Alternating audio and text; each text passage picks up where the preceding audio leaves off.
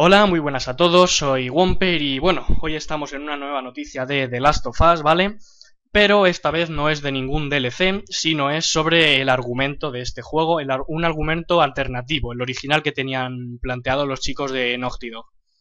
Lo primero que voy a decir, para avisaros, y que avisaos estáis, es que voy a destripar partes fundamentales del argumento de The Last of Us. Así que si no lo tenéis o si no lo habéis completado, pues os recomiendo que este vídeo ya lo quitéis, ¿vale? Avisados estáis. Y bueno, pues el comienzo del juego era similar al que hay ahora, en el, al que teníamos en este en The Last of Us. Pero Joel, Ellie y Tess iban acompañados de un doctor, este doctor les acompañaba hasta llegar a un punto de control policial donde se encontraba el hermano de Tess, que es uno de los guardias que vigilaban ese puesto, y que iba a dejarles pasar, iba a colarlos, pero mm, no salió muy bien lo de que dejas, lo de que los colasen, y entonces pues tuvieron que ser escaneados como el resto de gente que pasase por ese puesto de control. Y bueno, pues ya sabéis, Joel negativo en el, en el escaneo, test negativo, el doctor negativo, pero Eli, ah, Eli estaba infectada, entonces daba positivo.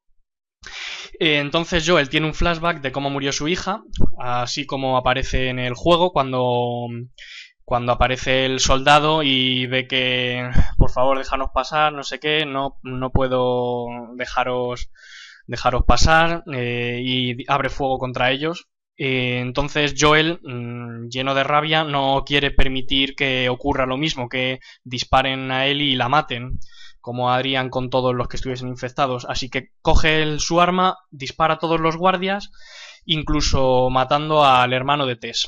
Entonces Tess se siente traicionada y jura venganza a Joel y Ellie, y aquí se separará de ellos de la historia. Esto explica la imagen del final, aquella que mostraron que salía Tess interrogando, bueno, torturando más bien a Joel. Y bueno, pues es por eso, porque mata al hermano de Tess, Joel, y se siente traicionada a ella y jura venganza. Eh, el doctor incluso muere también en esta escena, pero antes de morir le explica a Joel que Ellie es inmune y que tiene que llegar a un hospital para que le puedan extraer la cura y poder salvar a la humanidad. Y bueno, eso es lo que ocurre en el juego en verdad. Entonces, incluso a lo largo de la aventura había planeado, habían planeado incluir una escapada de un edificio en llamas, esto suena guay, una unión con un grupo de supervivientes, esto suena un poco menos guay, y, una, y la adopción de un perro. Esto es lo que más me ha llamado la atención y no sé, es lo que más, lo más bonito que hubiese, lo que más hubiese gustado a la gente, no sé. Pues eh, Joel y Ellie se toparían con un cachorro en el transcurso de la aventura y decidirían adoptarlo.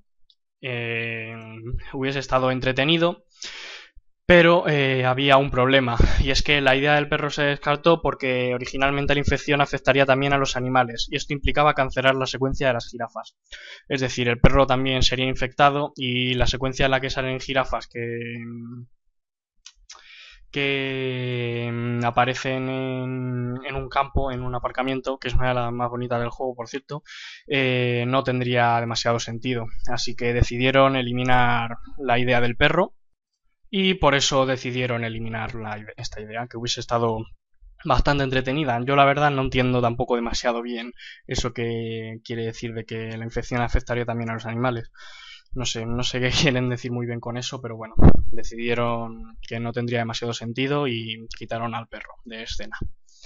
Así que nada, el resto de la aventura sería similar, aunque Joel llevaría a Ellie al hospital, la dejaba con el médico de turno y la secuencia se cortaba ahí mm, para mostrar a Joel conduciendo con Ellie inconsciente en el asiento de atrás de su coche, como en el juego, y entonces ambos empezarían a discutir sobre volver al hospital o no, y de repente pues Tess eh, estrellaría su coche contra, contra ellos. Ahí es donde varía un poco, varía ya la historia. Entonces, Tess los captura y comienza a amenazar a Joel con matar a Ellie frente a él, pero ella se escapa y conduce de vuelta al hospital con el coche robado de Tess. Pero eh, ella mm, de repente dice qué estoy haciendo y decide volver a por Joel. Eh, entonces, Ellie dispararía a Tess, la mataría y los dos serían libres para comenzar una nueva vida.